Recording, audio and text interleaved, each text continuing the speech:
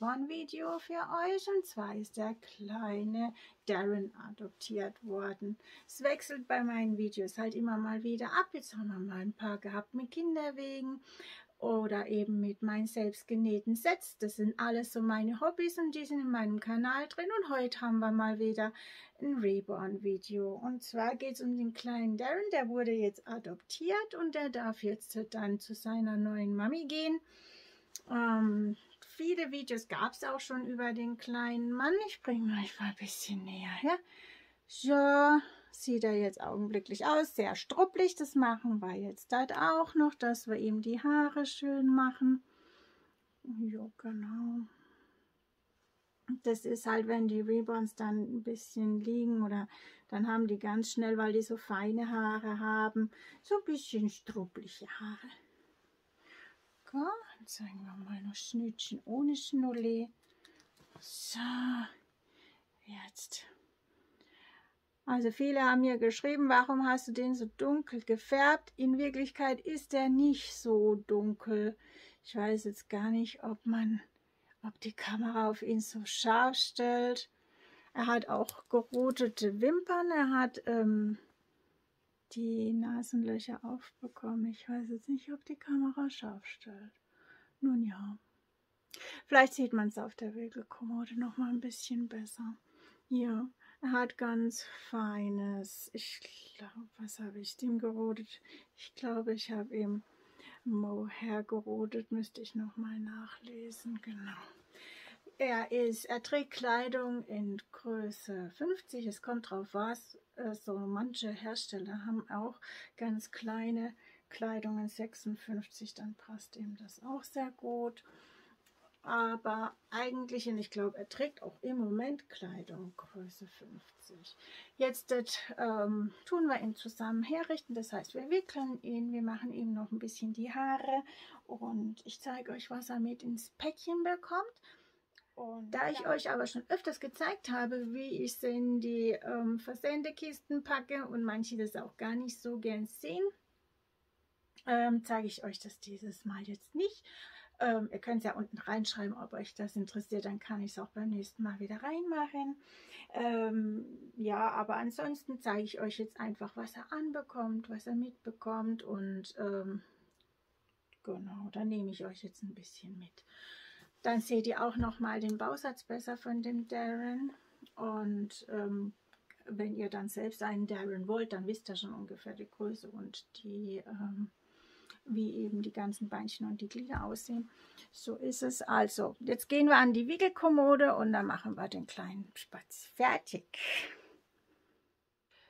Mitbekommen tut der kleine Darren ein Spucktuch. Dann habe ich ihm eben wieder ein Klinikbändchen hingerichtet. Kann die Mami dann eintragen. Einen Look Steckschnulli bei den Darren passt dieser Steckschnulli ganz wunderbar. Die können dann die Mamis auch selbst zuschneiden. Das geht ratzfatz, das ist ganz toll. Und dann sind auch keine Magnete notwendig. Das ist jetzt sein Steckschnulli, was er mitbekommt. Er bekommt dann noch eine Feendecke mit mit der Sonne drauf. Und dann bekommt er noch ein Feenschmusetuch mit. Das packe ich euch dann alles noch auf, dass ihr das auch seht. Und dieses schöne dreiteilige Set, das habe ich ihm jetzt dann noch bestellt gehabt. Das zeige ich euch jetzt. Dort.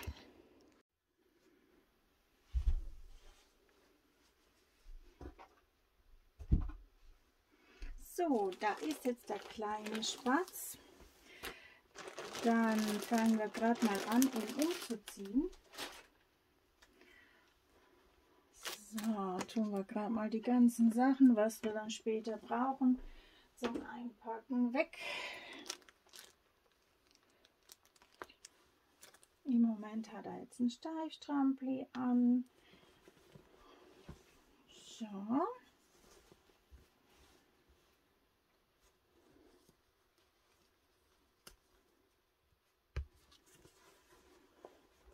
Jetzt muss ich gucken, ob er äh, was für Windeln er hat, ob Stoffwindeln oder echte Windeln. Mal sehen. So, da haben wir jetzt das Wickelbad. Ich kann es euch auch mal ein bisschen so hindrehen, dann seht ihr ihn besser.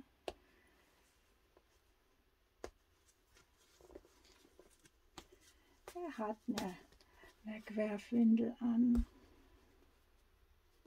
So. Wickelbody. Komm her, mein Schatz. So.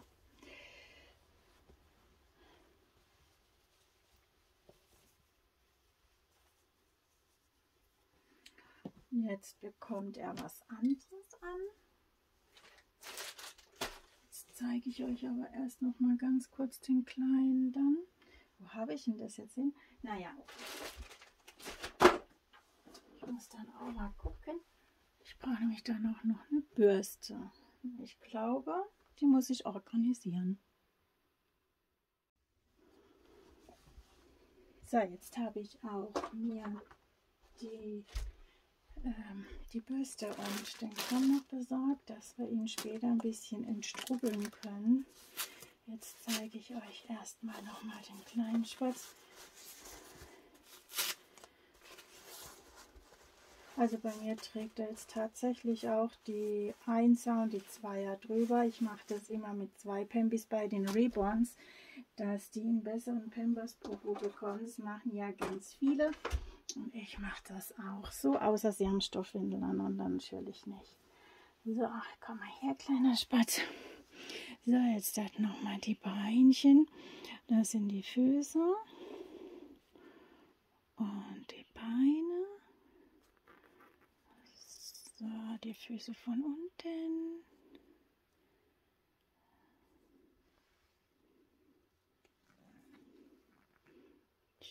Ich weiß jetzt nicht, ob die Kamera ausgerechnet auf das scharf stellt, wo ich jetzt ihr zeige. Ist ein bisschen blöd. Ich kann es euch aber auch noch mal runterholen. Dann. Und die Finger. Ich blende euch aber auch noch die Bilder von ihm ein. Komm her, mein Schatz. Zeig mal, was du da hast. So, die Fingerchen. Noch umdrehen, der Schatz. Das ist die andere Hand. Genau, auch mit äh, feinen Venen und Adern. Dreh mal die Hand nach oben und mit den kleinen Fingerchen. So. Und da noch die Wimpern und das Schnittchen. Genau. So, dann machen wir dich jetzt fertig. Gefüllt ist er wie alle meine Babys mit Glasgranulat, mit Babyspeck. Also man merkt das dann auch, wenn man sie anfasst, dass sie sich äh, ganz toll anfühlen. Der Babyspeck, das ist äh, ganz weiches Silikonmaterial, also ganz, ganz fluffig weich. Und Füllwatte ist noch drin und ja, ich sehe das ja auch in einem anderen Video, habe ich es euch gezeigt, was ich alles in meine Rebons mache. Das kann ich euch ja aber auch noch mal bei einem anderen Baby dann zeigen. So, dann ziehe ich ihn wieder an. Unten wieder die 1er Pembas. So.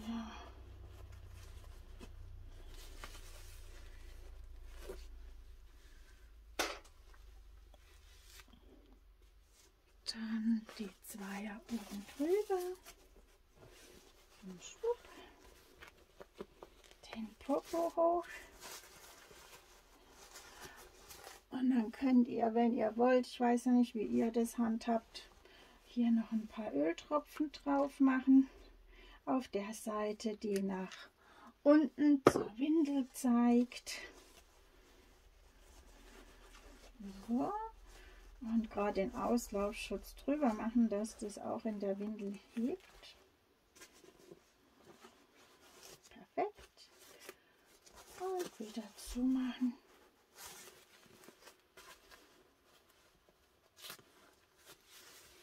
So Mäusel, jetzt kommen wir zu den Kleidungsstücken. Ich habe ihm ja jetzt das hier gekauft. Und zwar bin ich ja so ein großer Freund von Elefanten. Dann habe ich eben das hier geholt. Das ist ein Strampler in Größe 56, weil ähm, so ein paar Firmen, wie eben auch diese hier, ich darf es jetzt glaube ich gar nicht sagen, aber ähm, die machen halt die Strampler recht klein. Also passt im ähm, 56 da auch sehr gut. Da ist noch ein kleines Lätzchen dabei und ein Body. Ähm, das ist so ganz feine Streifen, ist so richtig schön, gefällt mir sehr gut. Und eben das Lätzchen noch mit einem Elefanten drauf. Dann ziehen wir mal an.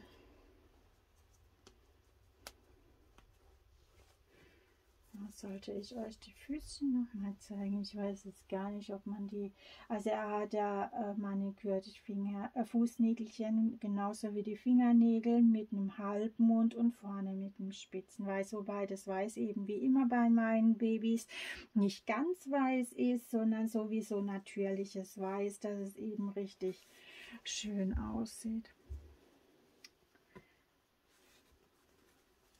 So, Schatzi, komm her du da rein. Okay. Ich habe jetzt einen Langarm-Body. Schwupp. Und hier noch rein. Okay. Perfekt. Jo. Bisschen zu groß ist es schon, aber bitte. Das geht.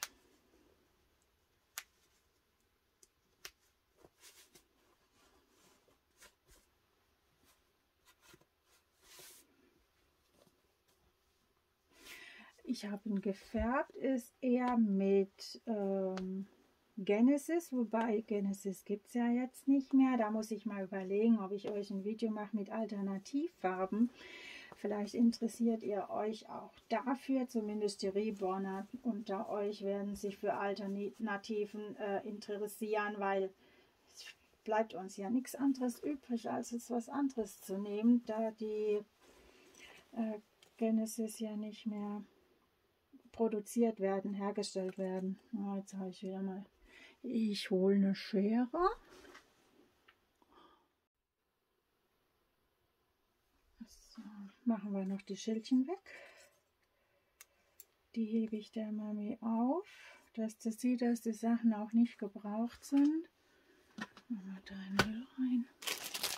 So, also Mamilein, da sind die Schilder von diesem Strampler-Set. Da packe ich dir dann auch noch das Klinikbändchen ein.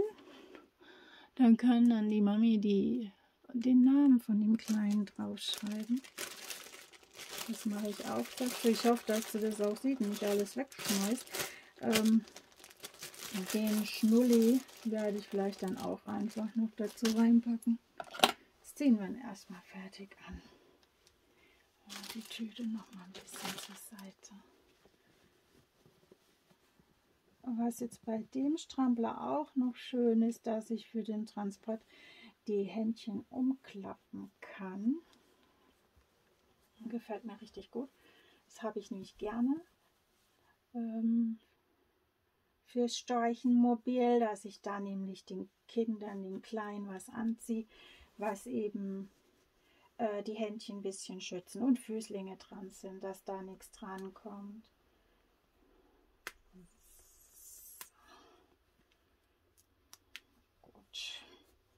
Also von der Größe her passt der jetzt schon richtig gut. So. Und da eben in den Händen kann man es dann einfach umklappen. Das mache ich jetzt dort auch, weil dann ist die Hand geschützt. Guck Mami, es kommt nichts dran. So. Und jetzt machen wir gerade noch die Haare. Also ich nehme immer dann so eine Bürste, das kennt ihr ja von meinen anderen Videos schon und ähm, fahre da gerade mal durch. Ich habe eben, äh, ach, ich komme immer durcheinander. Ich habe eben Monorouting, das heißt ein Haar wird immer äh, nur gestochen, aller allerhöchstens zwei.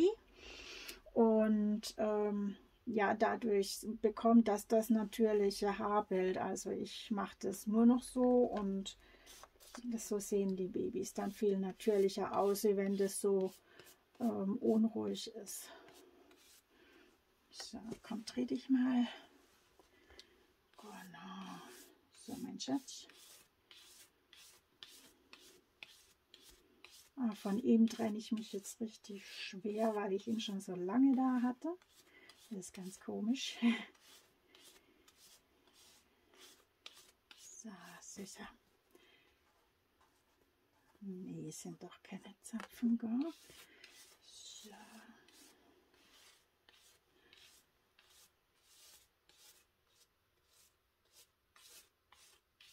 Jetzt weiß ich gar nicht. Zeige ich ihn euch noch mal von den Haaren her. Hm. Also, man kann ihn wirklich ähm, kämmen in jede Richtung. Ich habe ihn von hinten nach vorne gestochen. Somit hat er dann die Mama die Möglichkeit, ihn zu frisieren, wie sie möchte. Ich habe jetzt dort ihn einfach die Haare nach vorne gekämmt. Das kann aber auch jeder machen, wie er möchte. Man könnte es jetzt auch anders. So.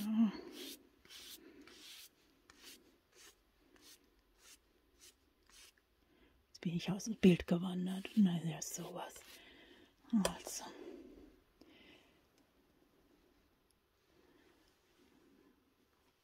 Da sind nicht mehrere gestochen, sondern das ist einfach schon wieder vom Drehen so ein bisschen. So, manchmal besser. Ist also wirklich immer nur eins gestochen. So, dann habe ich ihm noch eine Decke und ein Schmusetuch. Komm mal her, du darfst da noch mal ein bisschen hochrutschen. Ich habe ihm hier jetzt noch ein Schmusetuch.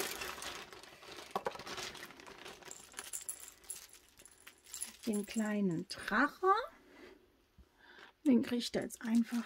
Der ist von Feen. Den bekommt er mit, der kleine Mann. Die Tüte bekommt dann die Mami auch und das den Karton. So, das kommt auf den Stapel. Und in diese Decke wird er jetzt dann eingepackt werden. Das ist eine Feendecke. Da ist noch so ein Kuscheltier drin. So. Also das ist jetzt so eine ganz weiche Decke. Eine ganz kuschelige. Können wir unsere Haarpflegesachen mal kurz weglegen. Und das hier nehme ich auch zum Zubinden. Das mache ich ihm auch dran.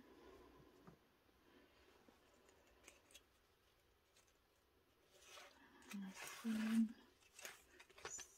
so.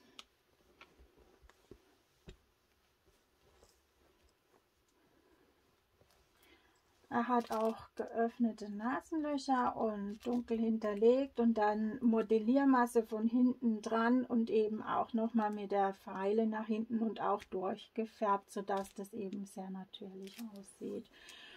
Und die Decke kommt jetzt erstmal unten drunter noch. So, kleiner Schatz, komm mal her. Ich sage ja, bei ihm fällt mir es jetzt richtig schwer, weil er schon so lange da ist und weil ich, er ist auch ein ganz süßer. So. Und sein Steckschnulli habe ich da noch, aber ich, ich, ähm, ich tue sein Steckschnulli in die, den Beutel mit rein. Also da ist der Steckschnulli mit drin. Ja, nicht wegschmeißen. So. Was, dass man gut sieht. Und das kommt dann auch oben drauf zum Mami-Brief dann noch, dass man es gut sieht. Und das letzte mache ich auch separat mit rein. Das mache ich jetzt nicht hier und das, die Decke muss ich andersrum hinlegen, sehe ich gerade, sonst kann ich es nicht schön einklappen. Dann machst die ich so ein bisschen quer. So, dann besser. Ja, also machen wir das. So, dann machen wir noch einen. Also wer es jetzt nicht sehen kann, der macht es kurz aus. Ich mache aber kurz eine Hinte noch übers Köpfchen, weil das dann den Kopf schützt. Jetzt gucke ich gerade. Nehmen wir eine Größe, weil die kleineren, die reichen nicht bei dem Köpfchen aus. Dann kommt sowohl an die Haare als eben auch an alles nichts dran. So ist das Baby noch mal besser geschützt. Manche mögen es nicht, aber äh, viele, fast alle Reborner machen das so. Und dann geht es jetzt auch da rein. So, kleiner Schatz. Jetzt machen wir es zu. Ich will ja einfach nur nicht, dass was dran kommt. Deswegen machen wir das so.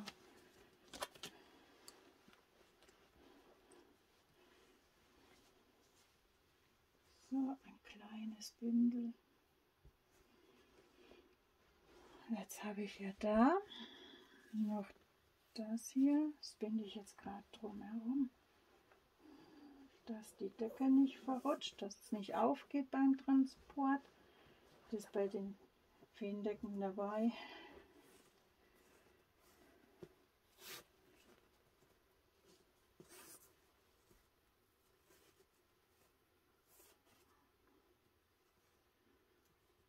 Okay. So. Also, jetzt habe ich hier eben noch das Lätzchen, da die Schnulli, den Schnulli und das Klinikbändchen. Das gebe ich jetzt alles da noch mit. Vom Schmusetuch da noch die Tüte. Dann habe ich hier noch ein Spucktuch, was ich ihm mitgebe. Und so geht er jetzt halt auf die Reise. Äh, er kriegt noch einen Mami-Brief mit. Und ja, ich glaube, ich habe jetzt nichts vergessen zu erwähnen. Ich weiß es nicht. Ähm, ansonsten so wie ich ihn, so wie ich ihn jetzt habe, kommt er in das Steichenkistchen und dann kommt eben noch ganz viel ähm, Luftblasenfolie drumherum und wird noch ausgepolstert mit sauberem Material. Und so kommt er dann unter der Woche so zur Post, dass er nicht am Wochenende bei der Post ist, sondern gleich von ausgepackt werden kann und gleich wieder warm und wuschelig hat. Und dann wünsche ich dem Kleinen jetzt auch eine gute Reise und mit der Mami ganz viel Freude und Spaß. Das war jetzt das Video und ich hoffe, ihr hattet Spaß dabei zuzuschauen, wie der kleine Darren auf die Reise geht und ich hoffe bis ganz bald. Tschüss!